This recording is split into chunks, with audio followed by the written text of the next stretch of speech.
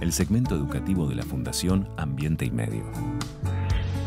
Descartar la ropa que ya no resiste no solo es un problema de presupuesto para la familia. Está demostrado que alargar la vida media de la ropa en tan solo tres meses puede conducir a una reducción del 5 al 10% de la huella de carbono, agua y residuos. Por eso, para ayudar un poquito más al ambiente y a tu bolsillo, van estos consejitos para que tu ropa dure más. Evita que tus jeans se sigan decolorando. Para eso, antes de lavar un par de pantalones por primera vez, remojalos en una solución de agua y vinagre en partes iguales. Después, lávalos siempre dados vuelta y así van a mantener el color por más tiempo. Protege los colores vivos lavando la ropa siempre con agua fría y agregándole un par de gotas de vinagre. No le va a dar olor, pero va a fijar los colores fuertes. Para mantener la ropa negra, de color negro, y que no se arratone, agrega una taza de café en el ciclo de enjuague. Puede sonar poco convencional, pero funciona. Protege tus prendas delicadas usando una bolsa de ropa interior, de malla o funda de almohada para el lavado de prendas delicadas y evitar que se desgarre la tela de los encajes.